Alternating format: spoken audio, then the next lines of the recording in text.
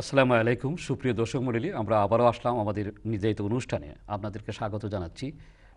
আমরা আসলে শুনছিলাম বিজ্ঞ আলোচকের কাছ থেকে জাদু নিয়ে, জাদুর বিষয়বস্তু নিয়ে আমরা ধারাবাহিক শুনব এবং জাদু থেকে কীভাবে সলিউশন পাওয়া যায়, ইসলামের দৃষ্টিতে সবগুলো আমরা জানব আমাদের আমাদের ক্রমান্বয়ে অনুষ্ঠানগুলি থেকে। সুপ্রিয় দর্শক মণ্ডলী, আমরা পুরো অনুষ্ঠানে যাওয়ার আগে আমি আপনাদের কাছ থেকে দোয়া চাচ্ছি, আগামীকাল আশা করছি ইনশাল্লাহ আমি মক্কা শরীফে উমরাতে যাওয়ার জন্য আমি ইচ্ছে পোষণ করছি। প্রথমে বিশ্বনবী করিম সাল্লাহ হজরত মোহাম্মদ মুস্তফা সাল্লাহ সাল্লামের মসজিদে নববী হয়ে আমরা মক্কা শরীফে রওনা দেওয়ার চেষ্টা করছি ইচ্ছা করছি। আপনারা সবাই আমার জন্য দোয়া করবেন। আমিও ইনশাআল্লাহ মক্কা শরীফে যাওয়ার পরে আমরা বিশ্ব উম্মার জন্য মুসলিম উম্মার জন্য দোয়া করব। আসুন আমরা বিষয়ভিত্তিক আলোচনা ছিল আজকে জাদু এবং জাদু জাদু এবং বদনজর সম্পর্কে কিছু জানব। এর এর পরবর্তীতে আমরা তার সলিউশনও জানব। হুজুর জাদু সম্পর্কে আপনি যে কথাটা বলছিলেন জি আলহামদুলিল্লাহ আমরা জাদু সম্পর্কে আলোচনার মধ্যে ছিলাম। জাদু হুজুর একজন কলার আছেন লাইনে আমি দেখি। সালাম আলাইকুম। আসসালামু আলাইকুম আসসালামু আলাইকুম। ওয়ালাইকুম সালাম রহমতুল্লাহ বারাকাতু। আপনি প্রশ্ন করুন। আমার প্রশ্ন হইল যে আমি বহুদিন ধরে আক্রান্ত। জি। আমি বহুদিন ধরে জাদুসুরা আক্রান্ত। আমি বহু আলিম দিয়া মানে যে এটা বাঙ্গাই আবার উল্টাইলাই যে করে তার জিন আছে।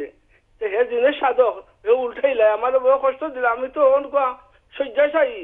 আল্লাহ। আল্লাহ আকবর আল্লাহ আকবর। আমার নমাজ পড়তে দেয় না নমাজ পড়তে দেয় না আলি সাইটা ভাত খাই আর কি। চলতে দেয় না আমার গতি বাড়িতে দেয় না আমারে মানে বেডের মধ্যে চড়াচ্ছে ফেলাইয়া এখন আমি কিতা করে হোক চাই ইনশাআল্লাহুল আজিজ আপনি লাইনে থাকেন ইনশাআল্লাহ। যদিও আমরা এই জাদুর আহ, জাদু থেকে আমরা কীভাবে বাঁচতে পারি তার ট্রিটমেন্ট কি এটা আমরা এন্ডের দিকে আলোচনা করার আমরা আজকে টার্গেট ছিল। আপনি যখন কোয়েশ্চেন করে ফেলছেন আমরা ইনশাআল্লাহ একটু হ্যাঁ, একটু জি। আমার অবস্থা খুবই খারাপ অবস্থা। আমার ইনশাআল্লাহুল শুধু- আজিজ আপনি আপনি পুরো অনুষ্ঠান দেখবেন আর হুজুরের এই মুহূর্তে কথাগুলো শুনুন। জি। আপনি পুরো অনুষ্ঠান দেখার চেষ্টা করেন ইনশাআল্লাহুল আজিজ আমরা আলোচনা এক পর্যায়ে ইনশাআল্লাহ। এটা ট্রিটমেন্ট কি? রসুল সাল্লাহ সাল্লাম আমাদেরকে হুজুরের লগে আমার একটু কাম আছে ইনশাআল্লাহুল আজিজ আপনি স্টুডিও থেকে আমার নাম্বার নেবেন। এরপরে আমরা ইনশাআল্লাহ আপনাকে আমি বিস্তারিত বলব। আর আলোচনা আপনি কন্টিনিউ শুনেন ইনশাআল্লাহুল আজিজ আমরা আলোচনার জি আপনার মানে আপনার মানে যে কন্টিনিউ আমি শুনি আপনার জাজাকাল্লাহ তাআলা খাইর জাজাকাল্লাহ তাআলা খাইর। আপনি টেলিফোন রেখে আপনি পুরো অনুষ্ঠানটা দেখুন এবং আপনার আহ, প্রয়োজন বোধ আপনার লাইন কাটার পরে টেলিফোন লাইন আবার ফোন করে আপনার নাম্বার বা হুজুরের নাম্বার স্টুডিও থেকে নেন। ইনশাল্লাহ এই ইসলামের দৃষ্টিতে আপনি সলিউশনও খুঁজে পাবেন। অসংখ্য আচ্ছা, ধন্যবাদ আপনাকে। আসসালামু জাজাকাল্লাহ খায় হুজুর বলেন। জি। জাদু ব্ল্যাক ম্যাজিক এমন একটা জঘন্যতম অপরাধ এমন একটা কাজ। হাজামিন আমালিস শৈতান এটা হচ্ছে শয়তানের কাজ ধ্বংসাত্মক কাজ। রসুল সাল্লাহ আলি সাল্লাম এর হাদিসের মধ্যে যে তোমরা ষাটটা ধ্বংসাত্মক কাজ থেকে বিরত থাকো। অর্থাৎ এমন ধ্বংসাত্মক কাজ যেটা সে নিজেই কি হয়ে যায়? ধ্বংস হয়ে যায়। এর মধ্যে একটি ষাটটার মধ্যে একটি কি? শির্ক। আরেকটা মানুষ হত্যা, আর আরেকটা কি? জাদু। আল্লাহ রসুল বলছেন যে এই সাতটার মধ্যে একটি হচ্ছে কি? জাদু। এটা মানুষকে ধ্বংস, সে নিজে ধ্বংস হয়, যে করে সেও নিজে ধ্বংস, যাকে করছে সেও ধ্বংস হয়ে যায়। জাদু আমরা জানি যে প্রত্যেকটা কাজের মধ্যে আমরা যে দেশে আছি অথবা কেউ যদি অসুস্থ হন দেশের মধ্যে যদি কেউ আপনার সে নিজে ধ্বংস হয়ে যাবে জাদু দিয়ে করল। জি সাহিরুন। আল্লাহ তাআলা বলছেন সে কখনো কামিয়াব হতে পারবে না। এই কথাটা তো মানে- কোরআনের মধ্যে। এই কথাটা এবং শুনলাম আল্লাহর রসুল বলছেন যে এটা ধ্বংসাত্মক। কিন্তু যারা জাদুতে আক্রান্ত হয় তারাই ক্ষতিগ্রস্ত হয় দেখি কিন্তু এদেরকে দেখি না না এরাও এরা সবচেয়ে বড় ধ্বংস তার কি? ইমান ধ্বংস হয়ে যাবে। সে মুসলমান থাকবে না। আমরা যেটা বলছিলাম যে আমরা জানি যেমন মনে করেন যে অজু বঙ্গ হয় কোন কোন কারণে আমরা জানি না? জানি জানি। আপনি উমরাত যাচ্ছেন যে কোন কোন কারণে আপনার উমরা ইবেন নষ্ট হয়ে যেতে পারে। হজের মধ্যে আপনার এমন এমন কাজ আছে যে হজ ফাঁসিদ হয়ে যেতে পারে। আপনার ঠিক তেমনিভাবে রোজার মধ্যে অনেক অনেক কাজ আছে যে রোজা নষ্ট হয়ে যায়। কিন্তু আমরা অনেকেই জানি না ঈমান কোন কোন কারণে ধ্বংস হয়ে যায়। আমরা অনেকেই জানি না খুব গুরুত্বপূর্ণ হ্যাঁ। জি। ইমান অথচ অজু আপনার কি রাহা মনে করেন যত সময় নমাজ পড়বেন ততক্ষণ পর্যন্ত। এরপরে আপনার অজু ফরজ না কিন্তু নমাজের মধ্যে অজু ফরজ তোয়াফের মধ্যে অজু ফরজ। যত সময় তোয়াফ করবেন অত সময় অজু রাখতেই হবে। যত সময় নামাজ পড়বেন তত সময় অজু থাকতেই হবে ফর্জ। কিন্তু টোয়েন্টি ফোর আওয়ার ইমান সেভ করা ইমান সংরক্ষণ করা কি? ফর্জ ফরজ টোয়েন্টি ফোর আওয়ার। আপনি যখন হজে যাবেন তখন আপনার হজ কীভাবে ফাঁসিদ না হয় এই টাইমের ভিতরে। ইমান না থাকলে। কিছু থাকল না। তো ঠিক আমরা আমাদের জানা প্রয়োজন যেভাবে অজু বঙ্গ হয় কোন কোন কারণে তা জানা আমরা যে যতটুকু প্রয়োজন। আর হজ কোন কারণে বঙ্গ হয় তা যতটুকু প্রয়োজন এরটা কি বেশি প্রয়োজন হচ্ছে কি? যে ইমান কোন কোন কারণে বঙ্গ হয়ে যায়। এর মধ্যে সে আর মুসলমান হিসাবে ক্লেম করতে পারবে না। নামাজ পড়ছে না গুণাগার হবে, কবিরা গুণা হবে, কিন্তু তাকে কাফির বলা যাবে না। কিন্তু যখন কেউ জাদু করে, জাদুকরকে আর মুসলমান বলার আর কি নেই, কোনো অবকাশ নেই, সে কি হয়ে যায়? সে কমপ্লিটলি আপনার মুশরিক হয়ে যায়, একজন জাদুকর। জাদু আমাদেরকে আমার মনে হয় একজন একজন কলার আছেন হুজুর ফোনটা নিয়ে আসসালামু আলাইকুম। ওয়ালাইকুম। ওয়ালাইকুম সালাম। আপনার প্রশ্ন করুন। হুজুরের নম্বরটা দিবানি জি। কথা বলুন। যে আমি আমি মক্কা শরীফ যাচ্ছি বলুন।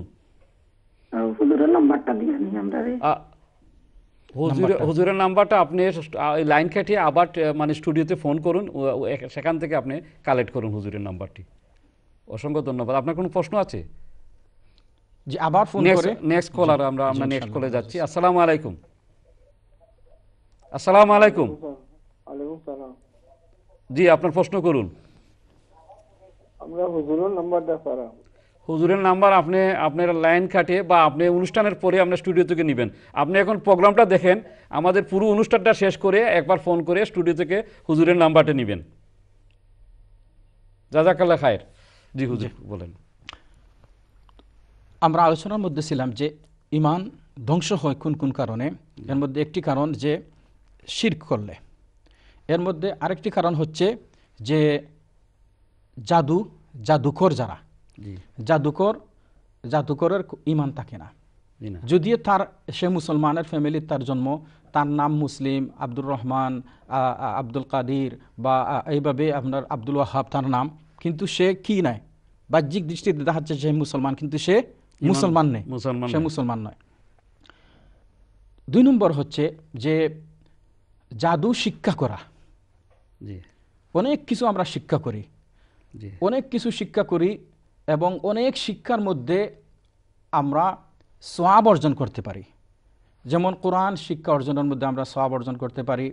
এরপরে আপনার হাদিস এরপরে ফি কোরআন হাদিস এইগুলা শিক্ষা অর্জনের মাধ্যমে আমরা সোয়াব অর্জন করি ঠিক তেমনিভাবে একজন কেউ যদি ডাক্তারি পড়ে ইঞ্জিনিয়ারিং পড়ে তারপর আপনার ইতিহাস সম্পর্কে লেখাপড়া করে এবং অন্যান্য ভূগোল সম্পর্কে সায়েন্স ম্যাথস বা এইভাবে ল্যাঙ্গুয়েজ সম্পর্কে একজন মানুষ স্টাডি করে লেখাপড়া করে সেও কিন্তু যদি তার ইন্টেনশন গুড হয় সেও কি সোয়াবের অধিকারী হবে একজন মানুষ সমাজ সেবায় তো কাজ করবে। একজন মানুষ ডাক্তারি পড়ছে সেও কিন্তু সোয়াব পাবে। সব পাবে। একজন মানুষ ইঞ্জিনিয়ারিং পড়ছে সব পাবে সব পাবে। ঠিক তেমনিভাবে আপনার ম্যাথ সায়েন্স ইংলিশ ল্যাঙ্গুয়েজ এইগুলোর মধ্যে যদি গুড ইন্টেনশন থাকে সেও কী পাবে? সব পাবে। কিন্তু একটা এটার মানে- মধ্যে কোনো সব নাই বরং তার ইমান ধ্বংস হয়ে যাবে। এটা। কি? জাদু শিক্ষা করা। জাদু শিক্ষা করা তো সব তো নেই আমরা আলো আগে বলেছি যে দুনিয়ার অনেক কাজকর্ম শিখার মধ্যে সব রয়েছে। আপনি ইলেকট্রিশিয়ান শিখার মধ্যে ইভেন সব রয়েছে। আপনি বিল্ডার এটা এটা শিখার মধ্যে আপনার সব রয়েছে। আপনি প্লাম্বিং করতে মানে- চান আপনি এটার মধ্যে কিন্তু আপনার যদি নেক ইন্টেনশন থাকে সব পাবেন।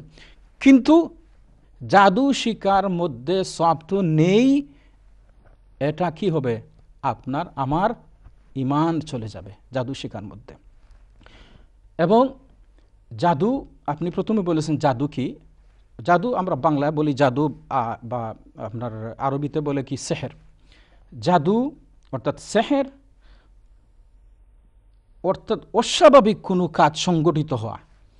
যেমন আপনার সেহের আরেকটা আছে, তারপর কি?